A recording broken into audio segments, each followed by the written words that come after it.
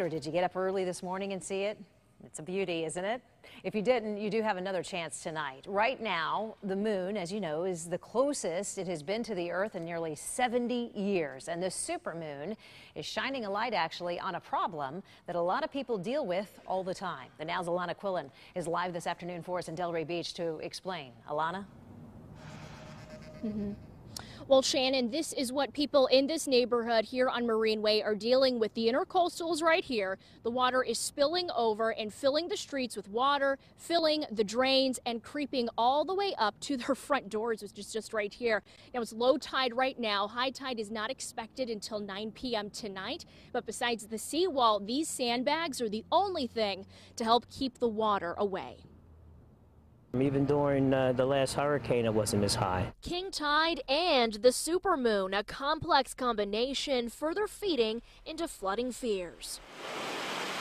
Intercoastal dwellers like David Froman are working to keep the waters at bay. You learn to watch the moon, watch the tide cycles, and how much bigger it's going to be. Over the years, he and his wife have seen the water come up through their floors. Now he's afraid it'll happen again. What have y'all done to prevent that from happening? You can't do anything.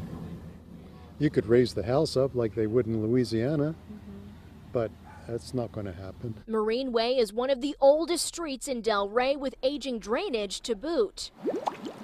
Here's an exclusive look from above from Chopper 5. You can see the high tide is too much for the seawall. If you have to move some furniture around or put things up on wooden blocks for the stuff you can't move, just do the best you can. Local business like nearby Deck 84 are keeping an eye on the rising water. Many of their customers arrive by boat. It affects some of our customers because, for example, last night it was so high, a lot of the boats couldn't get through under the bridge. While the supermoon will brighten the sky for the last time tonight, the problems presented by high tide will continue to threaten coastal homes across the area.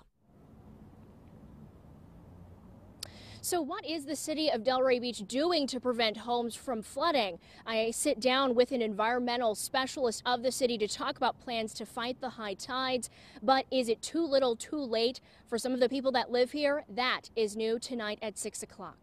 Reporting live in Delray Beach, I'm Alana Quillen for the Now, South Florida. Alana.